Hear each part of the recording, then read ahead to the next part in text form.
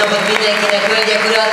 Az ECD és a tanári kar fantasztikus hölgyeit láthatták, láthatátok egy kis röpke, egy gyors visszajátszás, hiszen tegnap, aki esetleg nézte este a szépség királynő választást, akkor ugyanezt a produkciót láthatta, kiegészülve természetesen Gáspár Lacival, aki a dal előadója volt és marad.